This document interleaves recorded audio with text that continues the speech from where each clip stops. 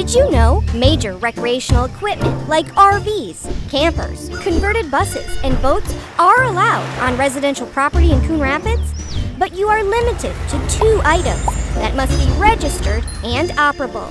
And any vehicle parked at a home for more than 12 hours must not exceed a certain size. For more information on this and other city codes, log on to coonrapidsmn.gov.